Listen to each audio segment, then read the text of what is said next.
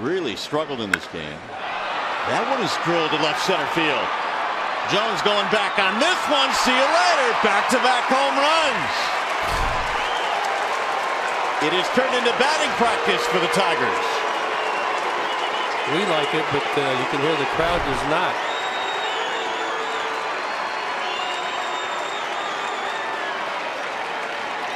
Two pitches, two homers.